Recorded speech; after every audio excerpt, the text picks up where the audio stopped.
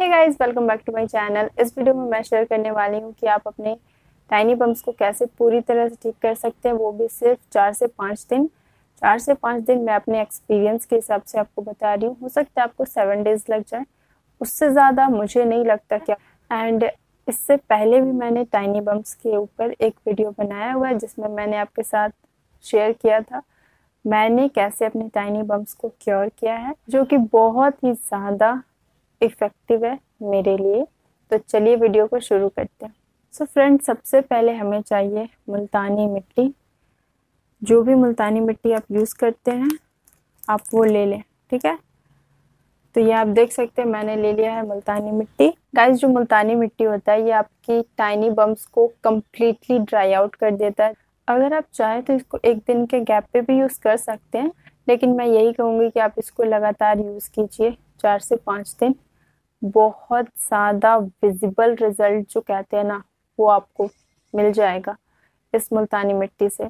ये इतना ज़्यादा अमेजिंग है। ये आपके टाइनी बम्स को कम्प्लीटली ड्राई आउट कर देता है, उसको पूरी तरह से यू नो सुखा देता है और फिर वो धीरे धीरे गायब हो जाते हैं। अगर मैं अपनी बात करूँ तो अभी तक दो से तीन बार जब भी टाइनी बम्स की प्रॉब्लम हुई है, मैंने सिर्फ़ इसे और बेसन को यूज़ किया है टाइनी बम्स के लिए।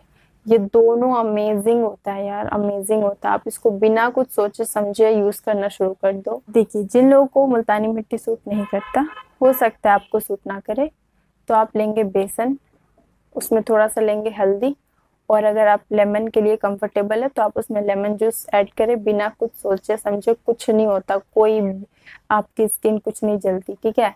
तो जो लोग ये बोलते हैं ना लेमन लेमन लेमन यार कुछ नहीं होता। मैं क्लास टेन से यूज़ कर रही हूँ लेमन जूस लेमन जूस को आप डायरेक्टली अप्लाई नहीं कर रहे। आप एक पेस्ट रेडी कर रहे उसमें आप लेमन जूस ऐड कर रहे हैं। कुछ भी साइड इफ़ेक्ट नहीं, आप उसमें आराम से लेमन जूस ऐड कीजिए। थोड़ा सा बेसन, हल्दी लेमन जूस और उसको मिक्स करके आप अप्लाई कर लीजिए। इसी चीज़ को आप, बिल्कुल जैसे मैंने मुल्तानी मिट्टी को आपको बताया है, चार से पाँच दिन कंटिन्यू रखिए या जब तक ठीक नहीं हो जाता। चार से पाँच दिन मैं इसलिए कह रही हूँ क्योंकि मेरे हिसाब से तो इतना ही लगने चाहिए आपको दिन। लेकिन ठीक है, सबकी स्किन प्रॉब्लम अलग अलग होती है तो हो सकता है आपको कुछ दिन लग जाए। लेकिन आप इसको कंटिन्यू रखिए। लगातार, हर दिन यूज़ कीजिए। ठीक है? तो आप लेंगे थोड़ा सा बेसन pinch of turmeric lemon juice apply कर लीजिए। लेकिन अगर आपको मुल्तानी मिट्टी सूट करता है तो भाई इससे बेहतर कुछ भी नहीं मिलेगा आपको टाइनी बम्स को क्योर करने के लिए। तो देखिए ये आपने ले लिया मुल्तानी में। अब हम इसमें ऐड करेंगे लेमन जूस इसमें मैं पानी बिल्कुल ऐड नहीं करती कभी भी नहीं। सिर्फ़ लेमन जूस उतना डालिए जिससे एक पेस्ट बन जाए और आप उसको आसानी से अप्लाई कर सकें। ठीक है? तो ये देखिए मैंने इतना डाल दिया है कि ये एक अच्छा सा पेस्ट हमारा रेडी है। या लेमन जूस को आप अपने चेहरे पे अप्लाई करने से इतना क्यों डरते हैं? लेमन अगर सूट कर रहा है तो ऐड कीजिए, नहीं कर रहा सिंपली वाटर ऐड कीजिए अप्लाई कर लीजिए। बेसन में अगर आप दही भी ऐड करें, वो भी बहुत अच्छा रिज़ल्ट देता है। तो ये मैंने मुल्तानी मिट्टी को मिक्स कर लिया है, देख सकते हैं आप। अब आपको जहाँ भी टाइनी बम्स की प्रॉब्लम है अप्लाई कर लीजिए, ठीक है?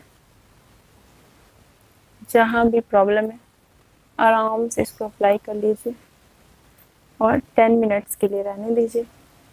आपके टाइनी बम्स को ना कम्प्लीटली ड्राई आउट कर देगा एंड तीन से चार दिन में टाटा बाय बाय तो ये आप देख सकते हैं, मैंने इसमें लेमन जूस ऐड कर लिया मिक्स किया एंड देन जस्ट अप्लाई कर लिया इसको अपने चेहरे पे सो ये आप देख सकते हैं, मैंने इसको आराम से अप्लाई कर लिया। कुछ भी नहीं होगा, कोई प्रॉब्लम नहीं है। आपको अगर टाइनी बम्स को क्योर करना है, आप मुल्तानी मिट्टी को यूज़ करना शुरू कर दीजिए।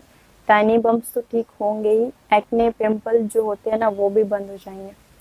साथ ही अगर आपको ओपन पोर्स की प्रॉब्लम है, उसके लिए भी मुल्तानी मिट्टी बेस्ट है। तो इसे ट्राई कीजिए। सो ये मैंने अप्लाई कर लिया। अब इसके बाद आप इसको 10 मिनट तक रखें, उसके बाद नॉर्मल वाटर से वॉश कर लें। तो मैं भी मिलती हूँ आपसे अपने फेस को वॉश करने के बाद। सो so गाइज़ मैंने कर लिया अपने फेस को वॉश एंड आई होप कि आपको ये वीडियो अच्छा लगा होगा। वीडियो अच्छी लगी है तो वीडियो को कर लें लाइक मैं मिलती हूँ आपसे अगले वीडियो में। Till then bye